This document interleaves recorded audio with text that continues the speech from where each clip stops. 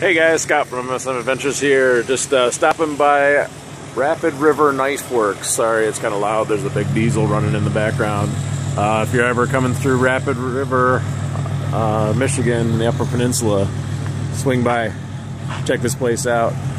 I shot some pictures from inside. Felt kind of weird about doing a video from in there, but I figured, hey, I would pass this information along and I will uh, add some pictures here to this video. The eddy line's doing good up top. We're pressing on. Could have spent a whole lot of money in Rapid River Knife Works. I'll have to come back when I've got some disposable income because uh, this place is really freaking cool. Custom knives of all sizes, all the beautiful works, the inlays, the handles. Say I'll uh, I'll stop talking. I'll show you some pictures here just wanted to do this little quickie and uh, hope you're having a great day. We're pressing on across the UP. Here we go. Peace.